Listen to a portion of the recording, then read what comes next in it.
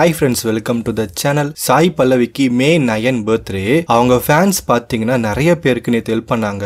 என்னென்னா ஹாஸ்பிட்டலில் இருக்கிறவங்களுக்கு ஹெல்ப் பண்ணாங்க. ரோட்ல கஷ்டப்படுறவங்களுக்கு சாப்பாடு கொடுத்தாங்க. ஆர்ஃபனேஜுக்கு போய் ஃபுட்டு கிளாத்து புக்லாம் கொடுத்தாங்க. அண்ட் நிறைய பேர் பிளட் டொனேட் பண்ணாங்க. நேற்று சாய் பல்லவி நானி ரெண்டு பேரும் சேர்ந்து நடிக்கிற சயம் சிங்காராய் படத்துல இருந்து சாய் பல்லவியோடைய ஃபர்ஸ்ட் லுக் ரிலீஸ் பண்ணாங்க. சாய் பல்லவி பர்த்டேக்கு இவங்க ஃபர்ஸ்ட் லுக் ரிலீஸ் பண்ண மாதிரியே நானி பர்த்டேக்கு அவருடைய ஃபர்ஸ்ட் லுக் ரிலீஸ் பண்ணாங்க கர்ணன் படம் மே 14க்கு ரிலீஸ் ஆகும்னு சொன்னோம்ல அதே மாதிரி அமேசான் பிரைம் மே 14க்கு ரிலீஸ் பண்றோம்னு அனௌன்ஸ் பண்ணிட்டாங்க.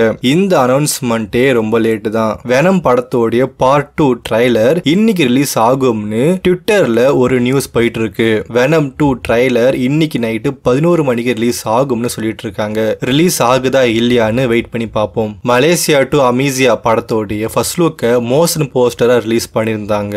ஃபர்ஸ்ட் லுக்கை பார்த்ததும் இந்த படம் மீட் த பேரண்ட்ஸ் படத்துடைய ரீமேக்கா இருக்குமோன்னு எல்லாரும் சொல்லிட்டு இருக்காங்க இந்த படத்துக்கு பிரேம்ஜி இசை அமைச்சிருக்காரு. மே இருபத்தி எட்டுக்கு ஜி ஃபைவ் பிரீமியம்ல ரிலீஸ் ஆக போகுது. அன்சிகா மோத்வானியோடைய ஐம்பதாவது படம் மகா. இந்த படத்தை யூ ஆர் ஜமுவேல் டைரக்ட் பண்ணிருக்காரு சிம்பு இந்த படத்துல ஒரு கேமியோ பண்ணிருக்காரு ரீசெண்டா இந்த படம் ஓடிடில ரிலீஸ் ஆகும்னு பேசிட்டு இருந்தாங்க. இதை பார்த்த டேரக்டர் அப்படிலாம் கிடையாது. இந்த படம் ஓடிடில ரிலீஸ் ஆகாது. இது ஒரு ஃபேக் நியூஸ்னு சொல்லியிருக்காரு. அண்ட் கூடிய சீக்கிரம் படத்துல இருந்து ஒரு அப்டேட் வரும்னு சொல்லியிருக்காரு. ஓகே ஃப்ரெண்ட்ஸ் இந்த மாதிரி சினிமா நியூஸை தெரிஞ்சுக்க நம்ம சேனலை சப்ஸ்கிரைப் பண்ணி சப்போர்ட் பண்ணுங்க. தேங்க்ஸ் ஃபார் வாட்சிங்